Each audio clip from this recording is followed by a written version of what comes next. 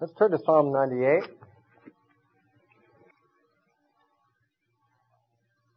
This psalm is just uh, a, a, psalm full of praise, is really what it is, and an exhortation to sing uh, praises to God. Doesn't really have much of any message to it except that, although there are implied messages in it, but uh, the real message of the psalmist is that we should praise God because he has certainly done marvelous things. It says, Oh, sing unto the Lord a new song, for he hath done marvelous things. His right hand and his holy arm hath gotten him his victory. The Lord hath made known his salvation. His righteousness hath he openly showed in the sight of the heathen. He hath remembered his mercy and his truth toward the house of Israel. All the ends of the earth have seen the salvation of our God. Make a joyful noise unto the Lord, all the earth. Make a loud noise and rejoice and sing praise. Sing unto the Lord with the harp, with the harp and the voice of a psalm, with trumpets and sound of a cornet. Make a joyful noise before the Lord, the King. Let the sea roar and the fullness thereof, the world and they that dwell therein. Let the floods clap their hands. Let the hills be joyful together before the Lord, for he cometh to judge the earth. With righteousness shall he judge the world, and the people with equity. You know, uh, this fits right in with these other psalms in the section that talk about the Lord reigning. Though we don't have the statement that he reigns, we have the statement that he judges. And the, uh, biblically speaking, judgment and reigning are the are the faculties of, bo- of one office. Uh, they're the province of one individual. The king judges and he also reigns. Note that this psalm begins and ends, uh, excuse me, w- the same as Psalm 96. Both of them begin with the statement, sing unto the Lord a new song, and both of them end with a statement about the Lord coming to judge. In Psalm 96 verse 13 it says, before the Lord, for he cometh, uh, for he cometh to judge the earth, he shall judge the world with righteousness and the people with his truth. And 98, and before the Lord, for he cometh to judge the earth with righteousness shall he judge the world and the people with equity, which obviously is the parallel to truth in the other psalm. So the idea is God is coming to judge the world. He is the victor over all his enemies. None of them shall be able to stand. Sin shall not be able to continue when he returns. Uh, and there are many marvelous things that he's already done that we need to praise him for. Those uh, things are listed in verses 2 through 4 primarily, uh, which, well, verses 2 and 3, basically the statement begins and ends with the statement that he has made known his salvation. Uh, verse 2 says, The Lord has made known his salvation. Verse 3 ends with the statement, All the ends of the earth have seen the salvation of our God. And in between those two statements, it mentions that he's openly showed his righteousness in the sight of the heathen, and he's also remembered his mercy and his truth toward the house of Israel. So, in that little couplet of verses there, verses 2 and 3, the main theme is the beginning and end of the statement. That is, the Lord has shown his salvation. And then in between it mentions that he has demonstrated his righteousness uh, publicly before the sight of the heathen, and also he's been faithful in his promises to Israel which are, they form the basis of the exhortation for us to praise Him. And then, of course, there's the reference to musical in, instruments and also reference to the elements of creation, the sea, the roaring of that, uh, the floods clapping their hands, the hills being joyful together. All these elements are found in other places as well that we've already seen. Now in Psalm 99, we get the third of the Psalms that begins with this statement, the Lord reigneth. The other uh, ones were Psalm 93 and Psalm 97, I believe it was. It, was it 93 or was it a, no, it was, yeah, 93. And Psalm 97. And so we have the third and last of those. The Lord reigneth, let the people tremble. Now in Psalm 97 it says, Lord reigneth, let the earth rejoice.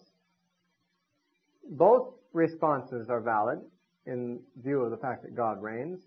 Those who are righteous can rejoice knowing that He is going to judge righteously. He's going to vindicate those who have done good. On the other hand, it's an awesome thing. It's a fearful thing to fall into the hands of the living God And there will be those who ought to be, rather than rejoicing, ought to be trembling, because they are not prepared to face him as their king and judge. He sitteth between the cherubims. Let the earth be moved. Now again, that was let the earth be glad or rejoice in the previous, in the other psalm. Here the earth is moved or trembling. Uh, sitting between the cherubims is a reference to the Ark of the Covenant and the mercy seat. On top of the ark was a, a golden uh, lid called the mercy seat, which had engraved golden cherubim on each side. And God came to rest, so to speak, in the form of a pillar of cloud upon the mercy seat between the cherubim. The cherubim were not the cherubs such as religious art usually depicts them, little fat cheeked babies, uh, like little cupids. Um, they were in fact uh, warrior angelic beings. Uh, it was a cher- it was cherubim that God put at the Garden of Eden to guard the tree of life, to keep man from coming there with a flaming sword. They are guards. They're like, it, I mean, it's putting it not exactly right, but they're like God's bodyguards, so to speak. Not that He needs them, but they are like they're pictured as the king's attendants who are there with their swords and with their uh, strength and all, and, and he sits between them, judging the earth. And so we see the Ark of the Covenant and the mercy seat is pictured sort of like the throne of God. He's reigning, he's sitting between the cherubim on the mercy seat, in other words. So he reigns from his temple, from the Holy of Holies on the mercy seat. Let him praise the great and terrible, let, I'm sorry, let them praise. Wait a minute. Go back to verse 2. The Lord is great in Zion, and he is high above all the people. Let them praise thy great and terrible name, for it is holy. This is really the theme of Psalm 99, is that God is holy. We see it stated here. We see it stated in verse 5, which is a verse that we sing, which ends with the statement, He is holy. And in verse 9, which the literal word order in the Hebrew verse 9 is, uh, Holy is the Lord our God. So the stress of the psalm is clearly the, the holiness of God. Now, in Psalm 97, which was talking about the Lord reigning, all the cause for rejoicing was there because its enemies were going to be destroyed. The hills melted like wax before him. The fire went out and destroyed his enemies, which of course causes the righteous to rejoice. But even the righteous need to tremble a little bit at the thought of his holiness, just because he is so lofty, he is so high, he is so different. The word holy actually means set apart or different. And he's different than we are. He's above us. He's great in Zion and high above all people, it says in verse 2. And uh, he's so high that there's a certain awe and a certain respect and a certain fear that's appropriate even for the righteous to feel about him, and especially for his enemies to feel. The king's strength, verse 4, also loveth judgment or justice. Thou dost establish equity. Thou executest judgment and righteousness in Jacob. Exalt ye the Lord our God, and worship at his footstool, for he is holy. Now worship at his footstool, because of the reference to the cherubim, might refer to Jerusalem and the, and the temple. At the same time, Jesus said in the Sermon on the Mount that the earth is his footstool. Remember, he said, swear not by heaven, for that's God's throne, nor by earth, for that is his footstool. So we can see that where the Jews thought of the Ark of the Covenant as God's throne, and thought of Jerusalem as his footstool. In other words, they thought of God only locally contained there in Jerusalem and in the temple. Jesus expanded their vision by saying, don't swear by heaven because that's God's throne. Not, not the Ark of the Covenant, but heaven is God's throne. And it's not Jerusalem, but the earth is his footstool. So that uh, when it says worship at his footstool, it means, of course, exactly what Jesus said to the woman at the well. The time is coming and now is when men shall not worship either in Jerusalem or in this mountain, but they that worship him must worship him in uh, spirit and in truth. Meaning that whereas in Old Testament times God was worshipped in Jerusalem, now he's worshipped wherever men worship him in spirit and truth, anywhere in the earth. He's not locally uh, confined to any particular place. Moses and Aaron among his priests, and Samuel among them, that call upon his name, they called upon the Lord, and he answered them. He spake unto them in the cloudy pillar. He kept his testimony, or they kept his testimonies in the ordinance that he gave them. Thou answeredst them, O Lord our God, thou wast a uh, God that forgavest them, though thou lookest, tookest vengeance upon their inventions. Exalt the Lord our God and worship at his holy hill, for the Lord our God is holy. Again, worship at his holy hill in verse 9 corresponds with worship at his footstool in verse 5, suggesting again that the footstool is Zion or, or uh, Jerusalem, the holy hill. Now, uh, the reference there to Moses and Aaron and Samuel among the people may be suggesting that they were among the people, not above the people. We're told that God is high above all people in verse 2. God himself is above all people, even the greatest of spiritual people. Uh, he is high above them. And by comparison, Moses and Aaron and the great men of the Old Testament, like Samuel, they are not above the people. They, like the other people, are below God. God is above them. Therefore, these great men are seen as being merely among the people. All men stand on equal ground. Even the great men of God stand on equal ground in the sense that they all are below God and must worship Him as equals, not as though some of them are perhaps intermediaries between man and God, as though some men were higher than others. But all men are at the same equal ground under the Lord. And he says he spoke to them, God spoke to them in the cloudy pillar. This is, of course, when God spoke out of the pillar of cloud during the wander, wandering in the wilderness. And when it says in verse 8, uh, O Lord our God, thou wast the God that forgavest them, though thou tookest vengeance on their inventions.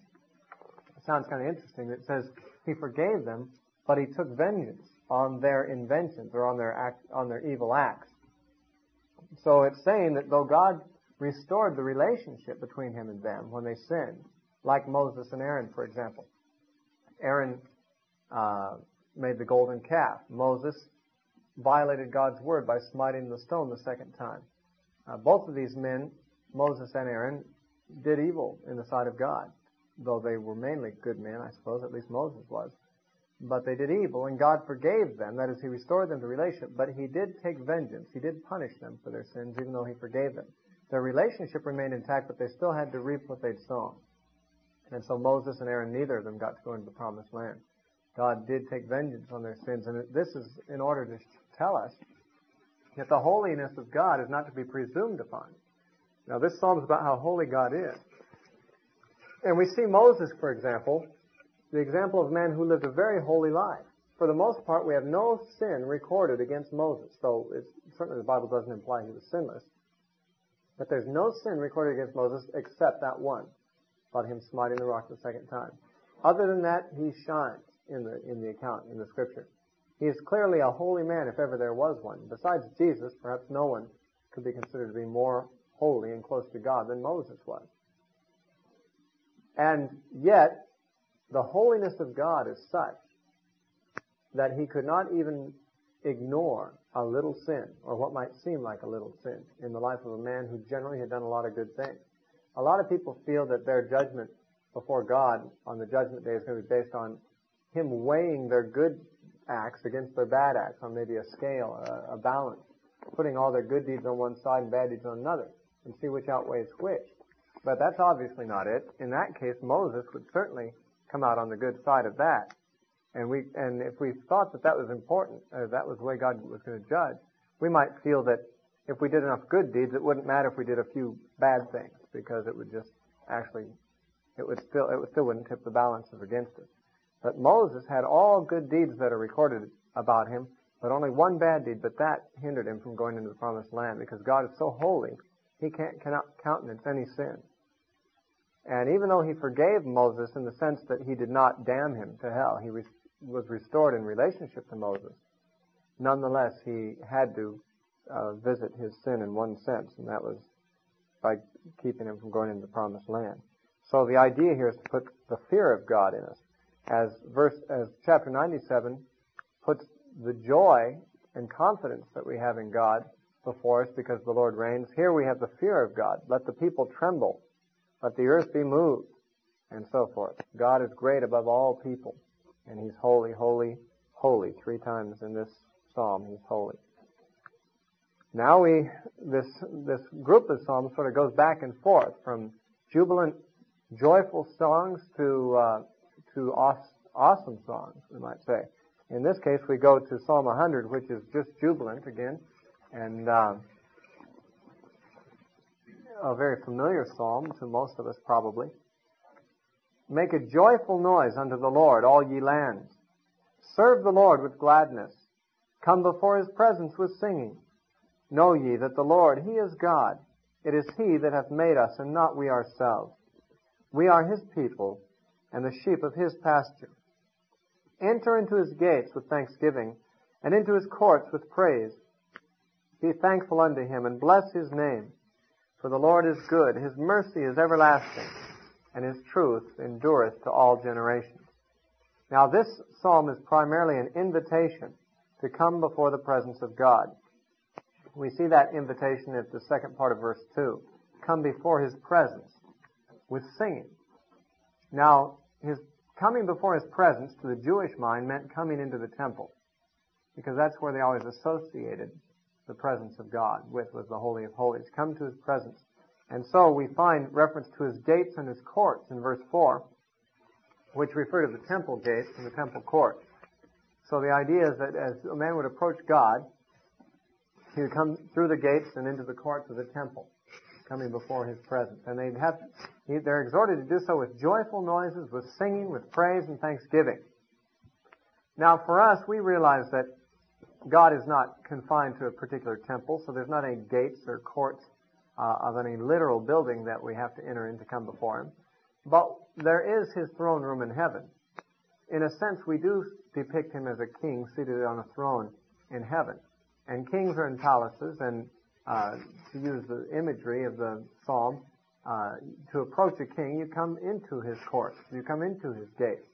Uh, while we're not thinking in terms of the temple in Jerusalem, we can still think of the image of God, the King, in His palace in heaven. And when we pray, we're coming before Him. We're coming before His presence. But that, pres- that coming before His presence is to be done with singing, with praise, and with thanksgiving. Now, the statement in verse 4, enter into His gates with thanksgiving and into His courts with praise, I've always taken to be a, an order of progression. You come first to the gate, and then you come into the court.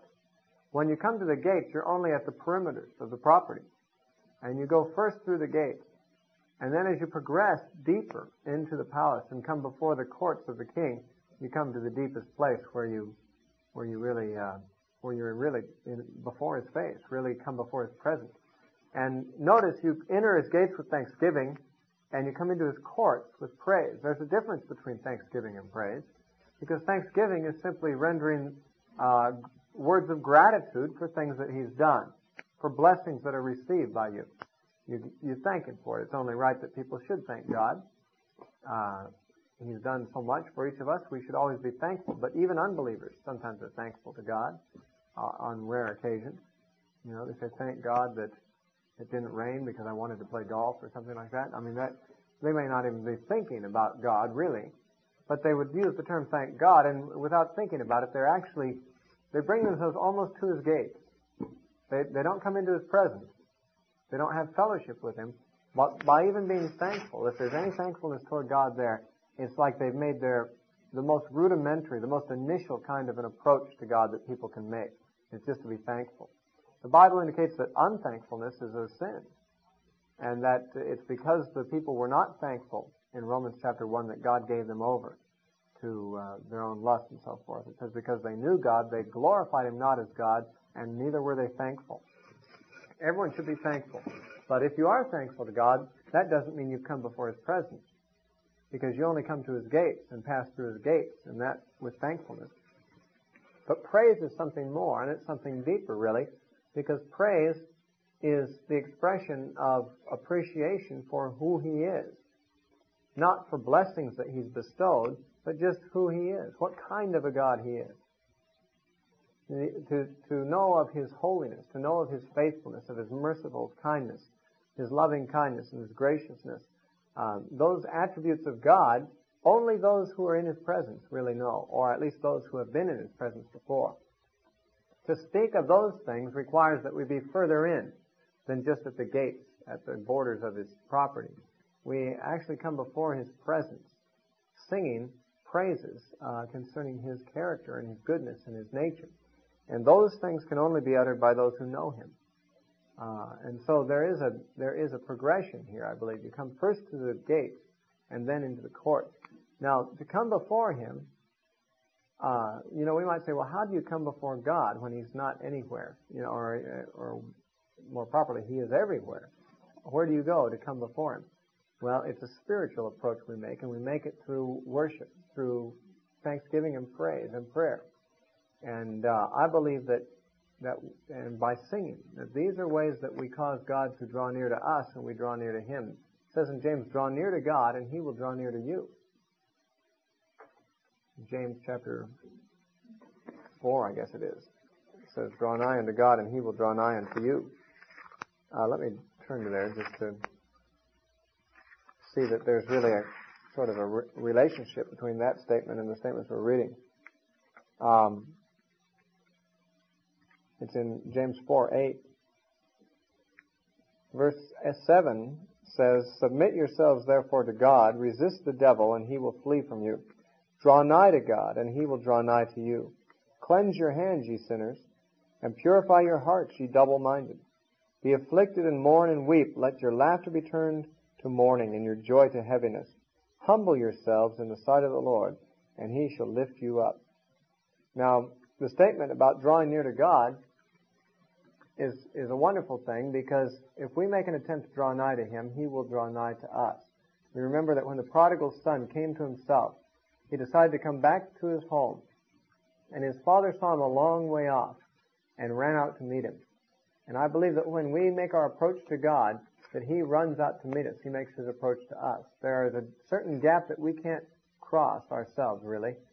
Uh, we, He's in the spiritual realm. We can't go there without Him coming and escorting us there. And we make our approach to Him by singing, by praise, by thanksgiving. And He comes out to meet us, I believe. And in Psalm 22, we're told that He is one who inhabits the praises of Israel, or the praises of His people. So that if he inhabits praises, you can see that when we're praising him, it's not even so much that we're moving from one place to another, but that he moves into our praises. He, he comes to inhabit them. Uh, that's in Psalm 22 and verse 3. But thou art holy, O thou that inhabitest the praises of Israel. So, if God inhabits our praises, then our approach to Him is through praise and thanksgiving, and that's what this psalm's all about. He's actually causing us to be drawn. The psalmist is inviting us to come into the presence of God. Now we're told in another psalm, in Psalm 16, that in his presence is fullness of joy, and at his right hand are pleasures forevermore. So to come before the presence of God is, has got to be gratifying. It's got to be fulfilling. It's got to be a joyful and a pleasurable experience. Many people never come before the presence of God. Even Christians often spend very little time there. Because it's, well, we have to understand His presence. Because we know, in a sense, the Bible teaches His presence is everywhere. Uh, the psalmist said in one place, Whither shall I go to escape your presence? I can't go anywhere to escape your presence, he said. If I ascend into heaven, you're there. If I make my bed in hell, you're there too. If I take the wings of the morning and fly to the othermost parts of the sea, uh, you're there, there too. and so, in other words, God is everywhere. So how can it be said we have to come before His presence? Because there's two senses in which God's presence is spoken of in the Bible. One is His universal presence, which I just mentioned. He's everywhere. Everywhere in the whole universe. You can't go anywhere without being near where He is. Because Paul said, in Him we live and move and have our being.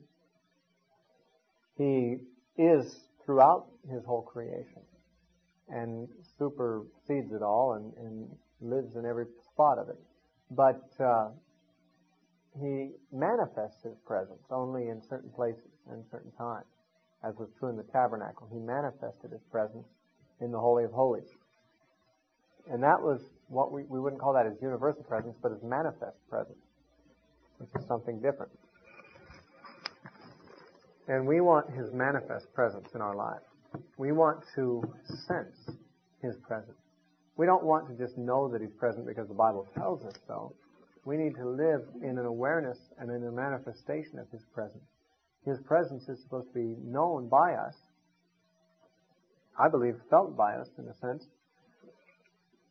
Though not necessarily at every moment of the day equally so, but, but that we have the privilege of coming before His presence when we have time to just think on Him and meditate and praise Him and sing to Him, then we have the opportunity and the privilege to come before Him.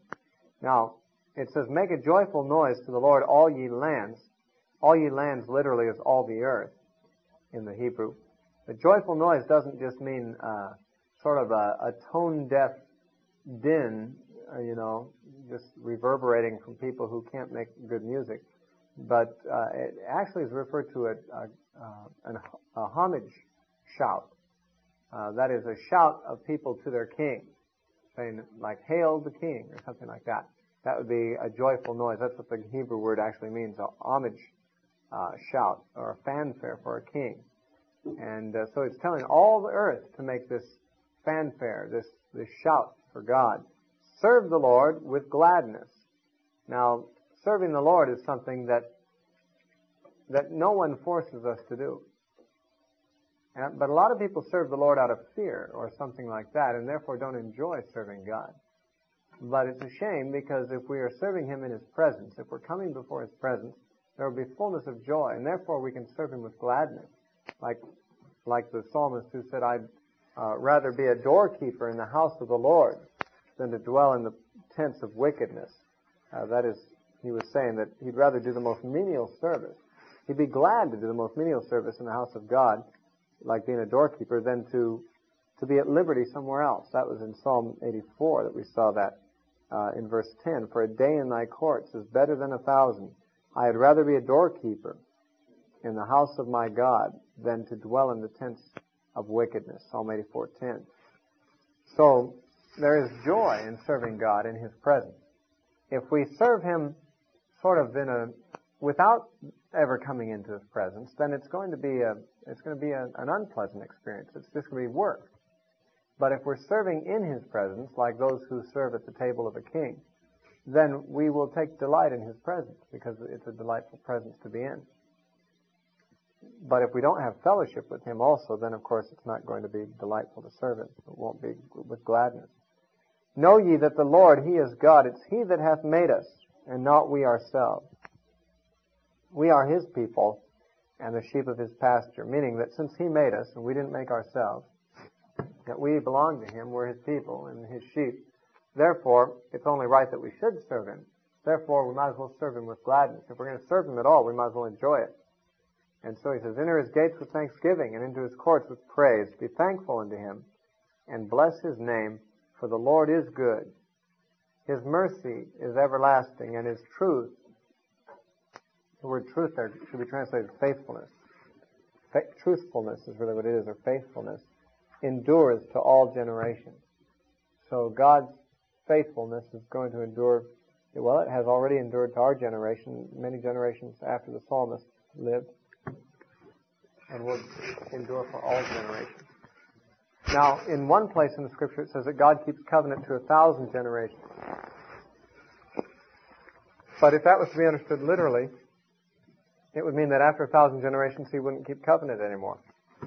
But here we see that his faithfulness endures to all generations, which tells us that the number thousand is not literal, but the scriptures often use the number thousand just as a figure for a large number as in Psalm 90 in verse 4, we saw a thousand years in thy sight are as but yesterday. Uh, a very large number from man's point of view, but not necessarily so large from God's. Psalm 101 is interesting because it's David who's writing, and we've come to the end of our anonymous psalms for a little while here. Get back into some of the psalms of David. And uh, he's speaking as king, of course. David was king, and he's talking about this is basically a, a confession of his resolve to keep a clean administration. You know, when you're in political power, you've got all kinds of people who try to get your favor and try to get positions of power and authority in the government, especially if you were the king and you could appoint people to any office you wanted to. There'd be all kinds of uh, opportunities trying to get positions. Many wicked men who are not content to make a, a decent living but want to just get in a position of uh, where others will give them bribes and so forth. And so there's a real attraction to high positions among wicked people with bad motives. And David in this psalm is basically resolving that he as king uh, will not give place to such people as that. He's going to keep a clean administration uh, he's speaking basically as the head of the political machine, as one who says, I will not permit wicked men to dwell with me or to serve with me here. And so that's, you need to understand that as we read this psalm. It's not just a man saying, I'm going to throw out all the wicked people out of my life, but it's a king speaking about keeping his office clean of, of wicked people. He says, I will sing of mercy. Actually, the word mercy literally in the Hebrew should be translated loyalty. Uh, I will sing of loyalty and justice. Unto thee, O Lord, will I sing. I will behave myself wisely in a perfect way. O when wilt thou come unto me? I will walk within mine house with a perfect heart. I will set no wicked thing before mine eyes. I hate the work of them that turn aside. It shall not cleave to me. A froward heart or a perverse heart shall depart from me. I will not know a wicked person. Whoso privily slandereth his neighbor, him will I cut off. Him that hath a high look and a proud heart will I not permit.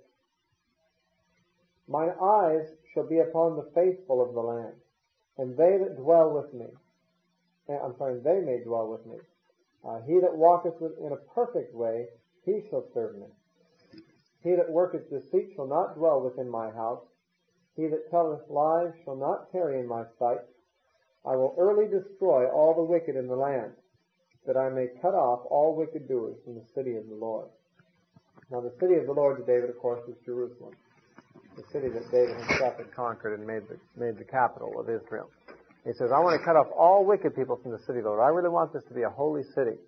Therefore, I'm not going to tolerate slanderers, liars, uh, arrogant people. It says in verse 5, he that has a high look and a proud heart, um, people who tell lies and work deceit, those people won't be permitted to be part of his government, but instead those who walk perfectly before God, uh, the faithful of the land, it says in verse 6, those are the ones that he's going to allow. And he makes the confession about his own walk earlier in the psalm. He says, I will behave myself wisely uh, in a perfect way. I will walk within my house with a perfect heart. So he says, first of all, he pledges himself to, do, to be just and to be honest and to be a good king before God and a righteous king. And then he says also those who serve with me, those who are my cabinet, will also be of the same kind of character. Now sadly, David didn't quite live up to this, uh, nor did any of the kings that followed him. Nonetheless, God inspired this as the ideal to judge a king by. Basically, a king, this is what a king should do.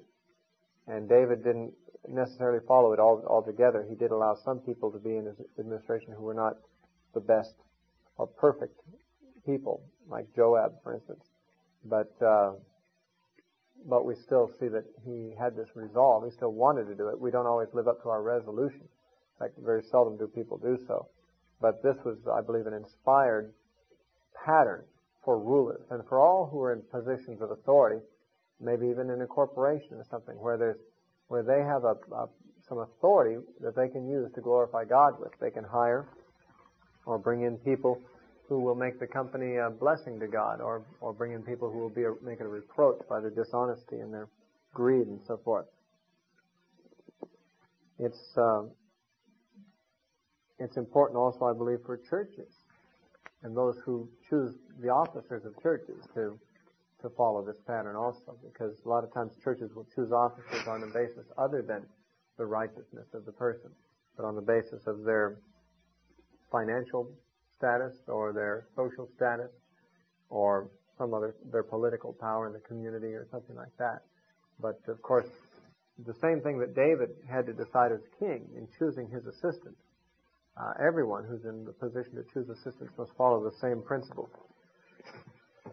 to exclude those who are wicked so that uh, the city of the Lord might be free from wicked doers. Psalm 102 we studied on another occasion. Uh, it was a messianic psalm. And we'll go on to Psalm 103 now. Now Psalm 103 and Psalm 104 apparently are intended to be companion psalms to each other. Uh, the reason I say that is because they begin with the same expression and they end with the same expression. They both begin, Bless the Lord, O my soul. That's the opening to both psalms. And uh, both of them end with that line, Bless the Lord, O my soul. Praise ye the Lord. Okay, so the psalms seem to be related to each other because they uh, they open and close with the same words. Now, the first of them is written by David. It may be the, the second one, and we know is anonymous. It may be that David wrote the second one too, uh, or on the other hand, it may be that David wrote only the first one, and later someone wanted to write a companion psalm to it, and took the opening and closing lines of David's psalm and wrote another psalm to go with it. The content of the two psalms is different from each other, but the opening and closing is the same. It says, Bless the Lord, O my soul, and all that is within me, bless his holy name. Bless the Lord, O my soul, and forget not all his benefits. Now I believe that uh, the rest of the psalm, or at least the majority of the rest of the psalm, lists out his benefits. The idea here is that David is commanding his soul to bless the Lord. Well, how do you bless God? We know how God can bless us in various ways. We tell him all the time how he could bless us. But uh, how do you bless God? Well, David said that also in Psalm 63. He said, My lips shall praise thee, thus will I bless thee. In other words, that's how I will bless you, by my lips praising you. So, to say, I'm going to bless the Lord is to say, I'm going to praise the Lord. And uh, when he says, Bless Lord, all my soul, he's commanding his soul to start praising God. And in case your soul says, Why? in case things are going wrong, say, I can't think of any good reason to praise God. He says, well, don't forget all the benefits that God has given you. Think of all the reasons that God deserves to be praised. Well, what are some of those things? Well, he begins to list them, starting with verse 3. He forgave all your iniquities. That's one thing he does. He heals all your diseases. Now, this does not mean there's a promise that God will heal every sickness you have whenever you want it, as some people have tried to make this sound.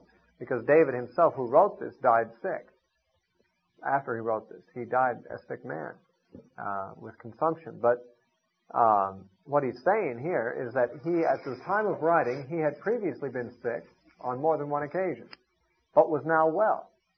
Therefore, God had healed him in times past of all his diseases he'd ever had. Uh, he'd probably been sick many times, like most of us, and at, if he was well at this point, it means that all his diseases had at some point or another been healed. Therefore, God should be praised for that, that he was enjoying health and had been brought out of disease in times past. That God forgave all your iniquities is something worth praising Him for, obviously. Uh, who redeemeth thy life from destruction, and crowneth thee with loving kindness and tender mercies. Redeeming your life from destruction means that He saved your life on many occasions when you would have destroyed yourself. He kept you from being killed and destroyed. Uh, also, when He crowns you with loving kindness and tender mercies, it means that His kindness to you the good things he does to you, his answers to your prayers, and all the things that he gives you, they sort of crown you in a sense. That is, they, it's like, it's like his way of putting a crown on your head and proclaiming that you're one of his royal children, that you're a prince or a princess in his kingdom. It's evidenced by the fact that he shows such mercies and grace upon you. It's, it's a crowning act toward you that shows that you belong to his royal family. Uh, it says, He satisfies thy mouth with good things. Now we know that that's not his obligation to do. He could he could satisfy our stomachs with things that don't taste very good, and he'd be meeting all of our needs that way. I mean, if we we just had to live off bland oatmeal all the time, uh, we could say God is meeting all our needs. But He doesn't just do that. He gives us more than that. He gives us more than we need. He gives us pleasure in it. He satisfies our mouth, meaning our taste, not only our stomach with good things, so that thy youth is renewed like the eagle. Uh, what this is actually referring to is the belief that the eagles would be rejuvenated, that they'd become young again every time they would molt their, their feathers and, and put on a new coat of feathers. Uh, what this actually refers to in the man's life, I'm not totally sure, except he's just perhaps saying that God has kept you youthful and strong, uh, has not caused you to waste away in old age. The Lord executeth righteousness and justice for all that are oppressed. He made known his ways unto Moses and his acts to the children of Israel. Speaking of the law of Moses. Pardon? All right. Okay. Uh, speaking of the law of Moses, he um, he says that God executes righteousness and justice by, of course, putting his laws into effect. So that justice is enforced by the legal system that God ordained through Moses. And it says, the Lord is merciful and gracious, slow to anger, and plenteous in mercy. This is almost a direct quote of what God said about himself in Exodus. Uh, when God caused his glory to pass by Moses and let him see his hinder parts, in Exodus 34 verse 6, uh, God's name was proclaimed before God, Moses, and he was called the Lord merciful and gracious, slow to anger, and plenteous in mercy. That's nearly quoted exactly like it. David borrows from that there. Uh, it's nice to know that God, though he does get angry, is very slow to get angry. He gets angry much slower than we do. As, for instance, we know that Moses, who was a meek man and didn't get angry very quickly, nonetheless got angry before God did uh, and smote the rock when God was not as angry as Moses was. It says he will not always chide. That means scold. He won't always scold, and he won't keep his anger forever. He won't hold it back. He'll eventually vent it, and then it'll be over with, and things will be all back to normal. He hath not dealt with us after our sins, nor rewarded us according to our iniquities. Now, this is very different than Moses' statement in Psalm 90 that we read uh, earlier today, because in Psalm 90, he was talking about how short our life is and how that it's because of our iniquities. It says uh, in verses 7 and 8 of Psalm 90, For we are consumed by thine anger, and by thy wrath we are troubled. Thou hast set our iniquities before thee, our secret sins in the light of thy countenance. That is, it's saying that we are being punished because God is taking seriously all of our sins. Whereas here it's saying that He hasn't always done just that. He's sometimes has not dealt with us according to our iniquities. There's times when our sins would have justified God bringing severe judgment upon us. But He has not always done that. He's often mercifully forgiven us for it. For as the heaven is high above the earth, so great is His mercy toward them that fear Him. In other words, it's that much greater. His mercy toward us is that much greater than our sins. As far as the east is from the west, so far hath He removed our transgressions from us. That's in forgiving us. God has actually put an immeasurable distance between us and our sins, which means that they won't be retrieved by us. The east, I mean, how far is the east from the west? You know, they can't really measure that. It's an immeasurable distance. Great distance, in other words. That's how far He's removed our transgressions. Far enough that they will never come home uh, to judge us on the judgment day because He's forgiven us of them. Like as a father pitieth his children, so the Lord pitieth them that fear him.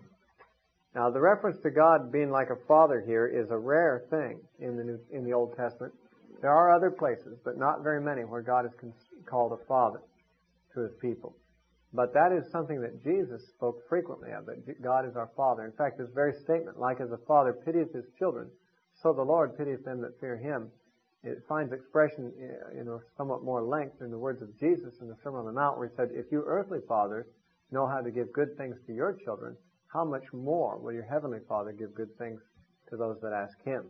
In other words, the way that an earthly father cares for his children, so even more so does God care for us. For he knoweth our frame, he remembereth that we are dust. Now that means he remembers how weak we are. He knows that we aren't perfect. He knows our weaknesses that are built into our constitution. He knows that we were born with a sinful nature. Now that doesn't mean He excuses us of those things, but it means that He often will grant us mercy and space to repent, uh, give us time to repent, whereas He won't, He won't just strike out as though we were always doing things out of rebellion. Remember when Jesus told His disciples to stay awake with Him for one hour and pray, they fell asleep three times. And He said, well, the spirit is willing, but the flesh is weak. He knew how weak men's flesh was, and he didn't get all angry about it either. But uh, though he does eventually get angry, he's slow to wrath because he remembers how weak and frail creatures we are. He knows our frame. Uh, he remembers that we're just dust, really. As for man, his days are as grass. As a flower of the field, so he flourishes. The same idea we found earlier, man being transient, also from Psalm 90. For the wind passeth over it, and it is gone, and the place thereof shall know it no more. But the mercy of the Lord is from everlasting to everlasting upon them that fear him, and his righteousness unto children's children. To such as keep his covenant, and to those that remember his commandments to do them. The Lord hath prepared his throne in the heavens, and his kingdom ruleth over all. That is, over all the universe. You know, in the Hebrew, it's over the all. That's a strange expression. That's why the King James translators took out the word the. It ruleth over all. But it actually, in the Hebrew, God ruleth over the all. And the all meaning the sum total of everything, the universe. Uh, bless the Lord, ye his angels, that excel in strength and do his commandments, hearkening unto the voice of his word. Bless ye the Lord, all ye his hosts, ye ministers of his that do his pleasure. Bless the Lord, all his works in all places of his dominion. Bless the Lord, O my soul. So there's a call to praise God and to bless him. First he calls upon his own soul to do so. And reminds his soul of all the good reasons to do so. All the good things God has done that he needs to be praised for and thanked for. But then, having uh, made all those declarations, he calls upon the angels to bless him. And then all his armies, verse 21, his hosts, and his ministers, and all his works. At this point, the cassette tape was stopped and turned over to record on the second side. As I said, it begins and ends like the other one, but this has something different in it, and it might not be evident if it's not immediately pointed out, and that is that it goes through the days of creation, really, and it shows how everything that is created is dependent upon God. It uh, it talks about the creation of light in the first two verses. In verses uh, the second part of verse two and on through verse four, it talks about the second day of creation, the creation of the firmament, above, the waters below and above the firmament. Uh, verses five through seventeen talk about the third day, that is the uh, the dry land appearing and the vegetation appearing. Then verses uh, 19 through 24 talk about the fourth day, the stars and the moon and the sun, etc., uh, being created. Then verses 25 and 26, the sea creatures, which were created on the fifth day. And verses 27 through 30, uh, it just states that all these things were dependent on God. So the idea here is that it runs through the creation story of Genesis 1 in poetic language, however, uh, and sort of maps out the various things that God did in creating the known world and, and it, its inhabitants, and then states that how each of us, created by Him, are totally dependent upon Him. It says, Bless the Lord, O my soul. O Lord my God, Thou art very great. Thou art clothed with honor and majesty, who coverest Thyself with light as with a garment, who stretcheth out the heavens like a curtain.